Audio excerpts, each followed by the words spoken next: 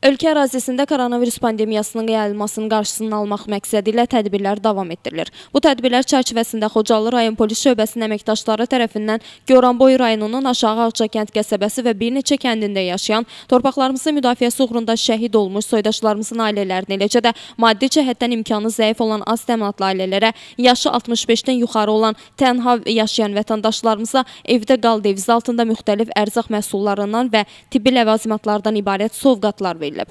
Həmçinin onlarla maarifləndirici mövzuda söhbətlər aparılıb, koronavirus pandemiyasının səbəb ola biləcəyi bütün mənfi hallar barədə geniş məlumat verilib. Sovqatları qəbul edən ailələr istər rayon polis şöbəsinin, istərsə də rayon icra hakimiyyətinin mütəmadi göstərdikləri yardımlara görə təşəkkürünü bildiriblər.